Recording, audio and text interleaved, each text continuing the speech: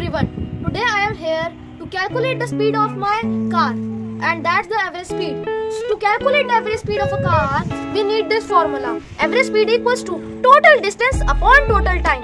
And to calculate the average speed, I have a stopwatch ready for the total time and a car and the remote for controlling it. And I will start the car from here.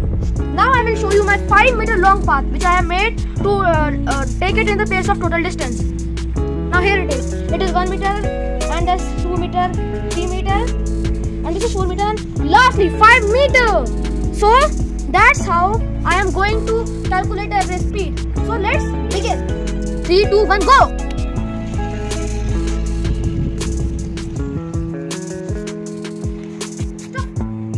formula of average speed is total distance upon total time and it took my car 7.97 seconds to complete the track which was 5 meters long. So it will be 5 upon 8 which is 0.62 meters per second.